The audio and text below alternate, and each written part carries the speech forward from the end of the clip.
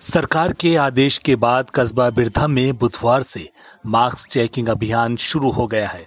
कस्बा के अलग अलग हिस्सों में कस्बा चौकी इंचार्ज धर्मेंद्र यादव द्वारा व पुलिस बल के साथ सड़क पैदल निकलकर सभी दुकानदारों, ग्राहकों एवं बिना मास्क वाहन चला रहे मास्क चेकिंग अभियान चलाया।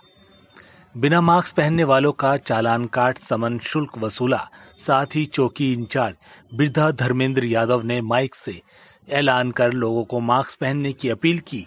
कहा कि इस भयंकर बीमारी में सभी को सोशल डिस्टेंस का पालन करना है और घर पर रहें, क्योंकि इस बीमारी का एक ही इलाज है। वो है सावधानी, क्योंकि यह बीमारी छुआछूत की है। यह जानलेवा बीमारी है। सभी को मास्क पहनना अनिवार्य है। आपकी सुरक्षा आपके हाथ है। आपकी ज़िम्मेदारी आपके परिवार की ज़िम्मेदारी है। कहा कि जो भी व्यक्ति नियम तोड़ेंगे, उन पर कठोर से कठोर कार्यवाही की जाएगी।